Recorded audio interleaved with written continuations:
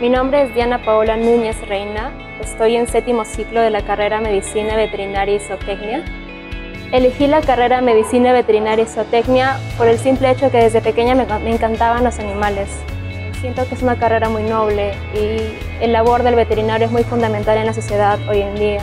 Escogí a Lupo porque me da un montón de oportunidades y los docentes y la infraestructura acá es muy buena.